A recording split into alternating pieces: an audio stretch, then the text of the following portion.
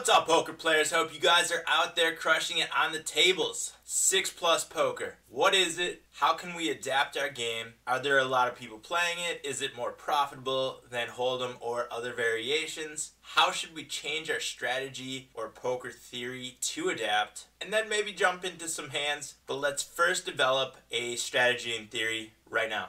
Fire up Americas Cardroom. This is where I do a lot of my online poker play. One of the few sites available to US players. And you can see right here is the 6 plus Hold'em with a big old new sign trying to advertise it. I've got my filters off and there are short-handed games going right now. There's probably about 20 of them looks like the highest stakes going currently is 50 cent dollar in a $30 capped capped tables are so ridiculous. I don't think i'm gonna do that. So we'll probably wind up playing 25.50 unless a 50 cent dollar game gets going here that isn't capped. First let's go over the rules and the hand strength changes. I will leave the link to Americas Cardroom down in the video description.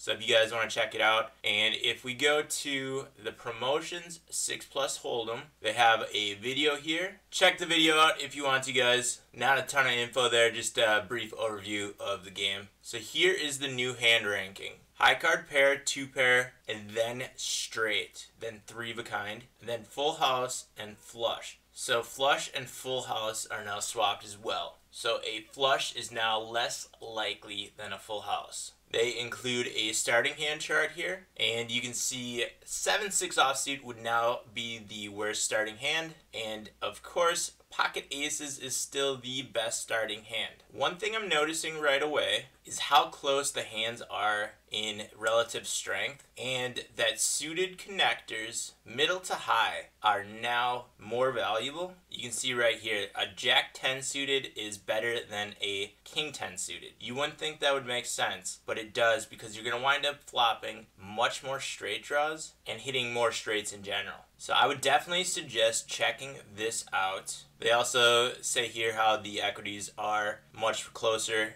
and hand splits are going to happen slightly more often, which we would assume as well. Alright, so we're going to be removing 16 cards out of the deck. That leaves 36 cards left. We will remove our two dealt cards, which will give us our remaining outs. And if we do 100 divided by 34 remaining outs, we are close to now 3% per out. On the flop, if we remove the three flop cards, there are now 31 cards remaining in the deck, which gives us a 3.23% chance of hitting our remaining outs on the turn. And if we divide 30, our remaining outs on the river gives us a 3.3 repeating chance to hit our outs on the river.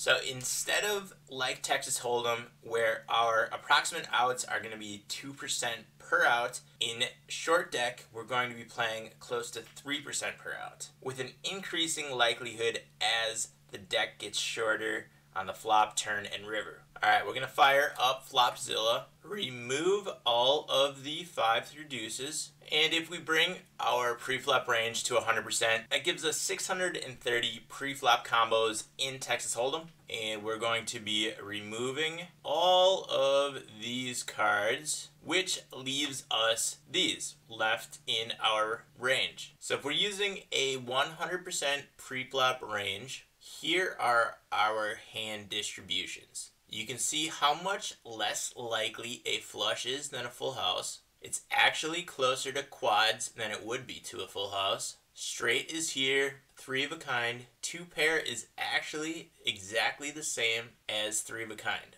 You wouldn't think that, that's surprising. You can see how the straight draws are far more likely now. Alright, let's start removing some hands in our pre-flop range. So if we start playing a7 off through a6 off, something like this, this is around 50%. We can remove queen 8 suited, king 7 suited, king 8 and 9 8, and we are now below 50%. Take out some more of the offsuit ones here. Here's a 40% pre-flop range. Here is what a 33.3% of pre-flop range would look like. Maybe remove some of the offsuit there. and we're now close to 25%. This is what a 20% range would look like. You probably want to throw in the Jack 10 suited too, maybe Queen 10 or King 10 suited, maybe even take out the Ace Jack. With the Ace Jack, we're at 20.6 without 18.7. And I think we should put in some more suited connectors here. There is exactly 20% right there. And you can see over here the likelihood of our absolute hands. We will be flopping a ton of straight draws. I want to take a look at just the suited connectors and just see what they look like. Yeah, look at how many straight draws there are going to be. And not that many flush draws. We're also going to be hitting our straights more often and hitting our flushes less often. Alright, we're going to take Jack 10 suited and look at how high these straight draw possibilities are and how much different the flush is going to be than a straight for our absolute value here.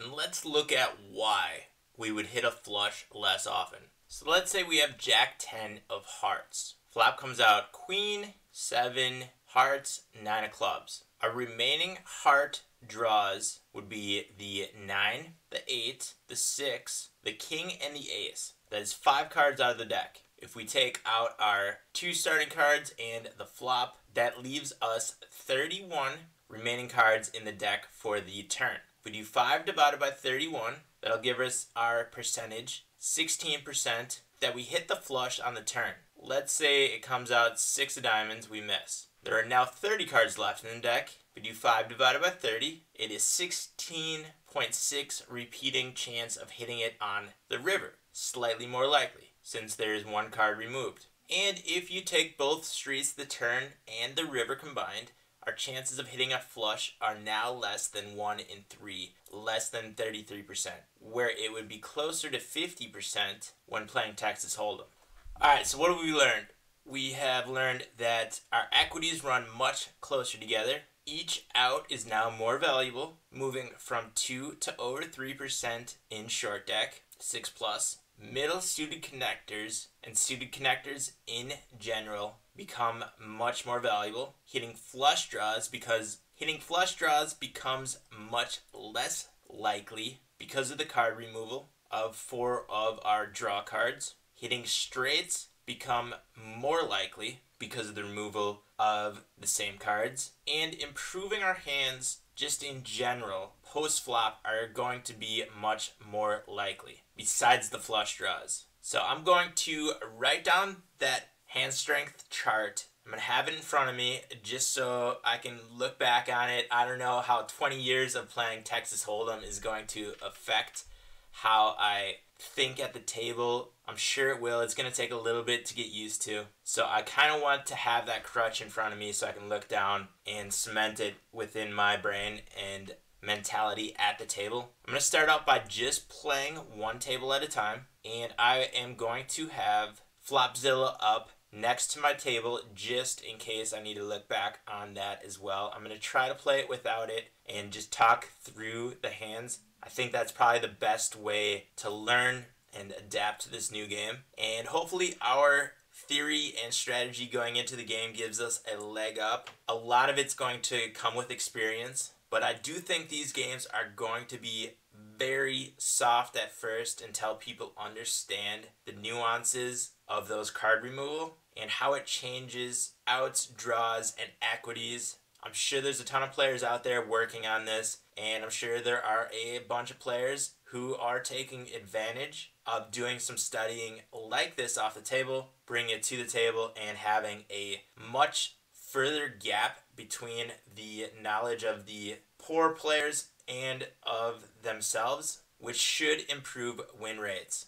I'm not sure how Hold'em Manager will adapt. That should be interesting as well. I'm not even sure if Hold'em Manager will even work on these 6 plus tables. But these are all things we're going to find out. And in the next video, I will be doing my play. I'm going to analyze it. I'm just going to record the entire session and probably pick out some of the more interesting hands. So make sure you hit the subscribe button so you don't miss out on that. Give this video a thumbs up. And if I missed or said anything wrong, which is very likely, since I have no knowledge of this game before today. Let me know what what I missed, if my theory was off, or anything I could add to it down in the comment section below. The link to Americas Cardroom, the 6 Plus promotions is down there. If you guys watch this video soon, head out to those 6 Plus tables. You'll probably see me grinding it out on there. And of course, I will be back soon with a new video. But until then, come find me out on the virtual felt.